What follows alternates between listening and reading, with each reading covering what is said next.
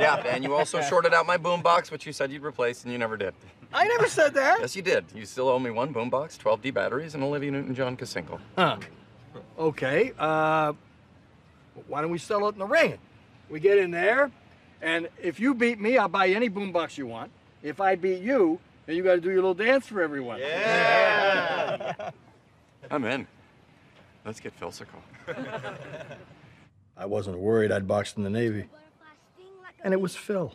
And here's something I thought I'd never say. I'd rather box my daughter's husband than my son's.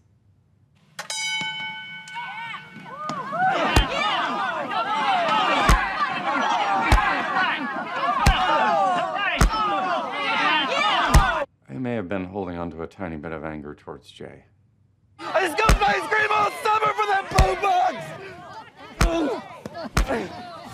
boombox!